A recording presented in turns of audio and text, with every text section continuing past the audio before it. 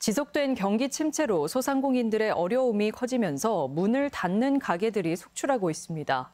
폐업하는 이들 자영업자들의 퇴직금으로 불리는 노란 우산 공제액 역시 전국적으로 사상 최대인 1조 원을 넘어섰는데요. 특히 전북은 지난해 전년 대비 41%가 증가하는 등 폭증 양상을 보이고 있어 위기감이 높아지고 있습니다. 전재웅 기자입니다. 전주 구도심 상권을 대표하는 충경로 거리. 상가 앞 유리창엔 너나 할 것 없이 임대 딱지가 붙었습니다. 그 힘들다던 코로나 시기도 버텼지만 요새는 오가는 사람이 더 없어 버티기 힘들다며 남은 상인들도 가게를 내놓을지 고민 중입니다. 코로나 지원금 받아야 밀린 월세 주고 무덤값 주고 나 뭐 있어.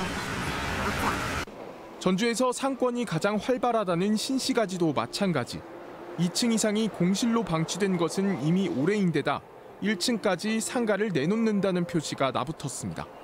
2, 3년 전 코로나 시기에도 볼 수 없었던 메인 상권의 1층 상가마저도 공실로 나와 있는 경우가 이처럼 소상공인들의 폐업이 늘고 위기 상황에 대처하기 위한 자금 끌어다 쓰기만 늘어나는 상황. 소상공인들의 상황이 악화되고 있다는 신호는 곳곳에서 터져나오고 있습니다. 소상공인들의 퇴직금 제도라 불리는 노란우산 공제.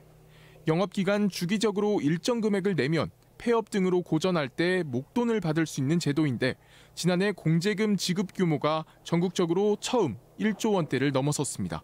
전북의 경우에는 지난해 지급 건수가 3,658건으로 전년 대비 31% 늘었고 지급액은 394억 원으로 전년보다 무려 41% 증가하는 양상입니다. 그런데 앞으로가 더 문제입니다. 3년간 견디신 거죠. 그 지금 원래대로는 코로나 때 폐업률이 높아야 되거든요. 그게 이제 이제 쏟아져 나오는 거예요.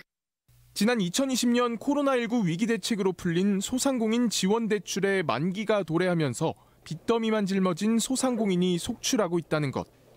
폐업의 기로에 선 이들이 다시 빚을 내기 위해 지원기관을 찾는 경우도 늘고 있어 지원기관 역시도 고민이 커지고 있습니다.